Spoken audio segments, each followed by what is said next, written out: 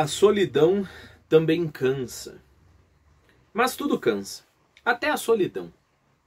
Aires entrou a sentir uma ponta de aborrecimento, bocejava, cochilava, tinha sede de gente viva, estranha, qualquer que fosse, alegre ou triste. Metia-se por bairros excêntricos, trepava aos morros, ia às igrejas velhas, às ruas novas, a Copacabana e a Tijuca.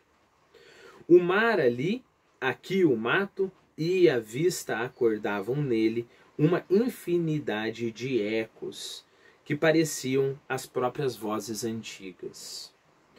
Tudo isso escrevia às noites para se fortalecer no propósito da vida solitária. Mas não há propósito contra a necessidade.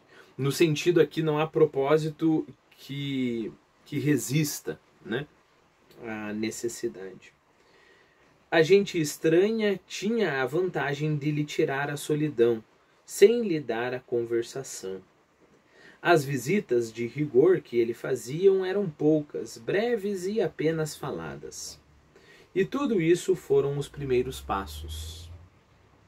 A pouco e a pouco sentiu o calor dos costumes velhos, a nostalgia das salas, a saudade do riso, e não tardou que o aposentado da diplomacia fosse reintegrado no emprego da recreação. A solidão, tanto no texto bíblico como na tradução do padre, era arcaica. Aires trocou-lhe uma palavra e o sentido. Alonguei-me fugindo e morei entre a gente. Em vez, é claro, da uh, citação original, que é alonguei-me fugindo e morei na soedade, né? Alonguei-me fugindo e morei entre a gente.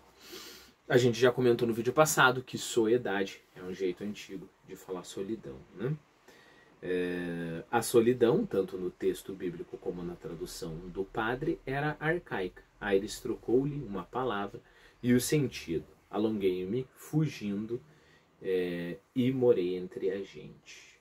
Assim se foi o programa da Vida Nova não é que ele já a não entendesse nem a amasse, ou que a não praticasse ainda alguma vez a espaços como se faz uso de um remédio que obriga a ficar na cama ou na alcova.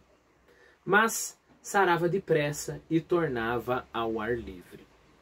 Queria ver a outra gente, ouvi-la, cheirá-la, gostá-la, apalpá-la, aplicar todos os sentidos a um mundo que podia matar o tempo, o imortal tempo. Né?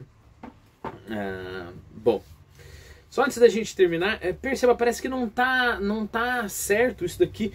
É, nós estamos falando de sentido, né? Cheirá-la, apalpá-la, é, ouvi-la, e depois no meio ele tem o gostá-la. Né?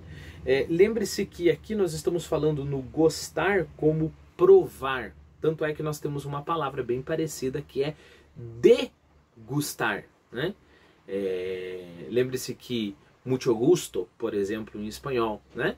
tem a letra U. Então, gustar, degustar, gostar. Né?